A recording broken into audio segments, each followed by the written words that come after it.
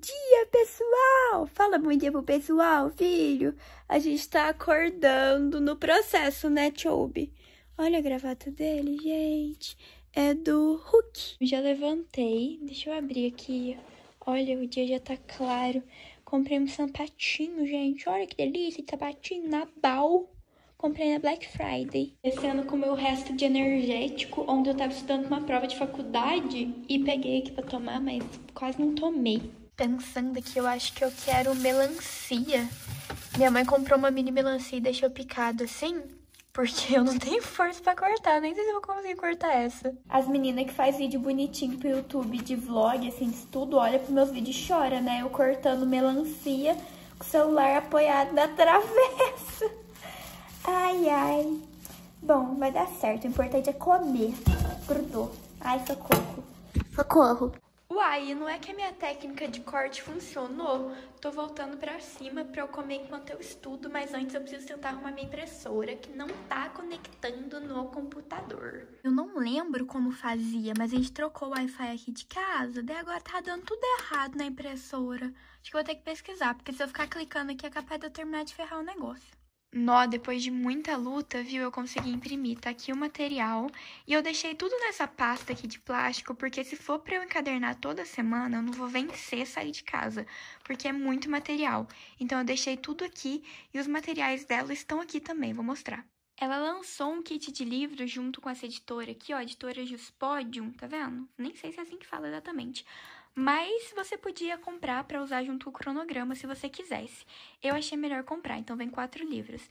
Esses dois mais dois livros pequenininhos, sendo um de gabarito, porque esse daqui é um livro de questões. Olha isso, gente. Mais de 3.500 questões. Ai, eu vou fazer questão até morrer. E eu peguei também alguns materiais da minha papelaria. Eu peguei esse kitzinho aqui de clips para papel, que tem tom pastel, tá vendo? Olha que bonitinho. Pra eu enfim, usar de marca-página. E peguei esse kit de post-it pautado, que é dessa marca, BRW.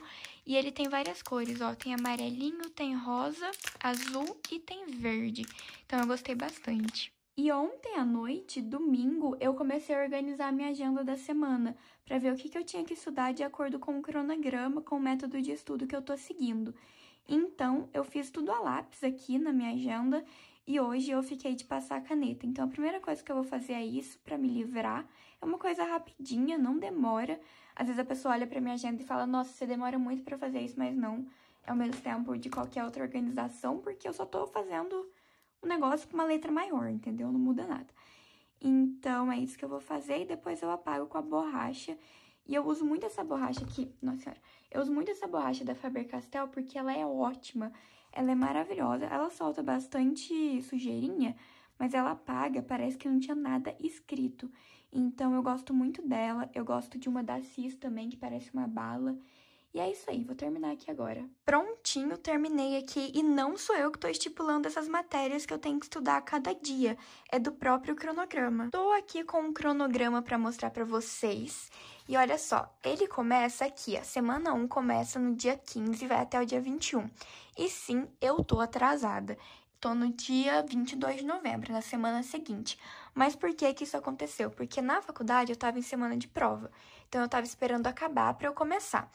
E eu não vou seguir esse cronograma ao pé da letra. Algumas coisas eu vou fazer por conta própria, porque eu funciono melhor de outro jeito do que tá no cronograma. Então tá tudo bem.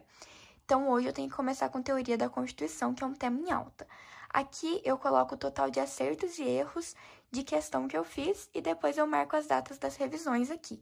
E aqui tem certinho onde está as páginas de conteúdo, páginas de questões, tem os mapas mentais, tem os temas mais importantes, então esse cronograma é bem completo. E eu acho que a primeira coisa é eu colocar certinho a data aqui, gente, senão depois eu vou ficar perdida nos dias que eu fiz de fato as coisas risquei ali com uma caneta e com a outra eu vou colocar aqui que hoje é 22 do 11, ou seja, eu iniciei o estudo atrasada, mas eu iniciei, isso que importa. E eu acho que o primeiro passo aqui é olhar qual edição do meu livro, né? Então, o livro tá aqui, que é a terceira edição. A última edição que saiu é a que eu tô usando. Então, para eu fazer o caderno de questões, aqui eu tenho que ir na página 107 a 110. Então, vamos lá achar essas páginas, hein? E um dos pilares do estudo desse cronograma é começar já resolvendo questão e não começar pela teoria, não começar fazendo resumo. Na verdade, aqui mal se faz resumo. O ponto-chave aqui é você fazer a questão, corrigir ela. Se você acertou, você segue adiante para a próxima questão. E se você errou, você vê por que, que você errou. A primeira eu acertei, fui para a segunda, a segunda eu errei. Então eu parei e falei: opa, não sei essa matéria direito, hein? Vamos ver o que aconteceu. Na hora que eu fui resolver a questão, eu já vi que eu não sabia mesmo. Eu nunca tinha estudado isso, tão a fundo quanto a questão exigia. Então a chance de eu acertar era pequena e se eu acertasse era com base no chute. Então eu peguei e fiz a anotação aqui com um post-it, tá vendo? Sempre que eu acerto a questão, eu faço esses grifos aqui em cinza e dou um certinho aqui. Quando eu erro, eu faço um X, faço os grifos de colorido por tópico, sempre usando essa caneta aqui da Estabilo, que é uma caneta de ponta mais grossinha. Venho no post-it, faço um resuminho e eu tenho esse caderninho aqui, que é um caderno da quatro estações que eu adorei, inclusive vou deixar o cupom de desconto aqui na descrição. Conheci eles recentemente. E esse vai ser o meu caderno de erros e eu vou anotando meus erros aqui para eu saber o que revisar depois. E esse caderno de erro vai ter um pouquinho mais de detalhe em relação ao post-it que eu tô colocando no livro, para eu conseguir de fato lembrar certinho da matéria e não ter só um resuminho ali, porque às vezes eu tenho um pouco de dificuldade em colocar só a palavra-chave e depois não lembrar do que eu tô querendo dizer. Força a mente, mas às vezes não me ajuda. Terminei, coloquei o tema aqui que eu tô estudando, teoria da Constituição. Tô colocando os acertos, por enquanto tô empatada. O tema da questão aqui e a resumo, né? A resumo é bom, o resumo certinho do que foi feito. Porque aqui eu coloco só tópicozinho curtinho para eu ter nesse livro caso eu saia com ele. E aqui para eu fazer a revisão mesmo certinho. E bora para a terceira questão. E eu achei que seria mais rápido o estudo, sabe? É bem demoradinho porque tem que ler com cuidado, muita coisa eu não lembro mais, porque é de muito tempo atrás. Então, eu fico com dúvida, algumas coisas eu fico, meu Deus, o que, que era isso mesmo? E então tá bem complicado esse comecinho da matéria, principalmente de constitucional, que era uma matéria que eu não gostava tanto. Depois eu passei a amar. Eu acertei a questão 3, mas eu tô tendo uma dificuldade, sabe? Eu não tô acertando porque de fato eu sei tanto a matéria. Eu não tô conseguindo lembrar porque a matéria é muito do começo da faculdade, de quatro anos atrás. Então eu vim aqui grifar o que você precisa saber do material que eu comprei.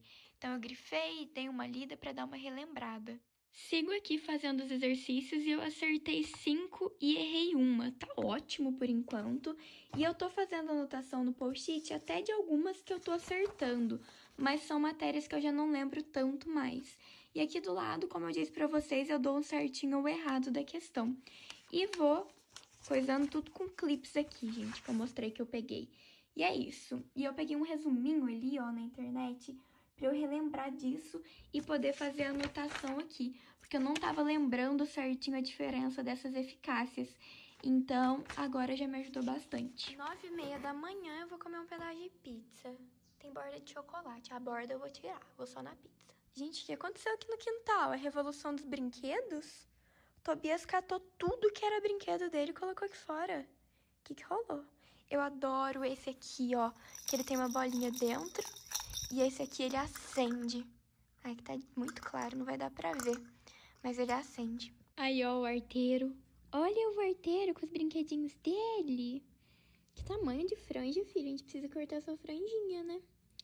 E é isso, gente. Já comi, espareci um pouquinho, agora eu vou voltar a estudar. E já voltei para minha mesa aqui para continuar os estudos, para continuar fazendo questões e, se necessário, fazer resumo, fazer alguma anotação, ler alguma coisa, mas por enquanto tá relativamente tranquilo. Então vamos torcer para continuar assim, né? E a matéria que eu comecei, Direito Constitucional, é uma matéria que eu vi bastante na faculdade até. Eu quero ver a hora que chegar uma matéria que eu vi pouco. Eu tenho um medo de me desanimar, sabe? Eu sou muito assim. Oi, gente, quando eu vejo isso aqui, ó, parabéns, você acertou. Eu fico numa felicidade. Nossa, só falta pular da cadeira aqui. Então, por enquanto tá assim, olha só, algumas anotações aqui, o que eu erro eu coloco X, então tem alguns X eu errei 3 e acertei 10 ou 12. Acho que tá bom, né? E fica de dica para qualquer pessoa, para você ver o seu rendimento de questões em porcentagem, você divide o número de acertos pelo total de questões e multiplica por 100. Acabei de fazer a conta do meu aqui, acertando 12, errando 3, eu acertei 80%. Tô bem feliz, gente, porque é o conteúdo Teoria da Constituição que eu não vejo faz muito tempo. Eu vi no primeiro semestre da faculdade, eu acho. Então faz aí quase 5 anos. E é isso. Agora, depois a gente tem as datas da revisão aqui pra gente fazer certinho. Beleza, isso aqui acabou, mas a gente continua. A meta 2 é processo do trabalho e o tema da competência, é um tema importante. E depois tem outro tema, essa meta 2 aqui tem dois temas, vou mostrar para vocês. O outro tema tá aqui, ó, dos atos, termos e prazos processuais. Agora ferrou, gente, porque essa matéria eu não sou boa, não é uma matéria que eu gosto, eu acho chato. Então, assim, vai ser na força do ódio. O bom desse cronograma também é que algumas matérias têm aula ao vivo. Então, o processo do trabalho que eu falei para vocês que eu odeio, teve aula ao vivo. Então eu consigo assistir. E tem material pra gente baixar. Eu não sei qual é a diferença de um e outro. Vamos ver aqui. Ah, esses são os slides da professora, né? Rosinha. E o outro, deixa eu ver aqui que é, se tem menos cor pra eu imprimir, porque aquele lá tá muito coloridão, pra imprimir vai ser difícil. Ah, acho que eu vou imprimir esse aqui, ó. Vou mandar imprimir esse daqui, então. Command P a gente imprimir. Ixi, ah, deu certo. Achei que não ia dar. Ah, que lindo! Parece que eu esqueci de puxar aqui um negócio. Olha que beleza, gente. Ah, vou chorar. Tem número de página? Ah, que merda. Deu tudo certo, já coloquei em ordem, tá tudo certinho aqui. Peguei o livro, gente, da teoria resumida, porque eu acho que essa matéria eu vou ter que ler a teoria resumida, porque eu não vou dar conta sem ler, não que eu não sei muito, sabe? Eu não gosto. Eu tive essa matéria esse ano, por incrível que pareça, mas eu acho que eu me ferrei, porque eu não sou muito boa, não.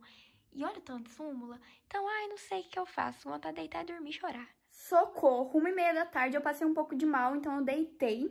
Depois eu comi um biscoito, eu melhorei, fui tomar banho e cá estou eu. Agora eu vou pentear o cabelo, dar uma secadinha pra ele não ficar desse tamanho e vou voltar a estudar porque eu concluí metade da meta do dia, gente. Meu Deus, eu vou ter que dar uma agilizada nesse estudo aí, hein? É, tá aí uma questão que eu tava fazendo e eu não entendi absolutamente nada, nada mesmo. E agora são 5h15, parei de estudar, já fui comer de novo, que me deu uma fome, comi metade da cozinha, comi fruta, eu comi queijo, eu comi biscoito, daí eu comi Danone. Enfim, é isso. Agora eu vou me arrumar porque eu tenho aula à noite e tô cansada. Segundou, beijos, até amanhã e tchauzinho.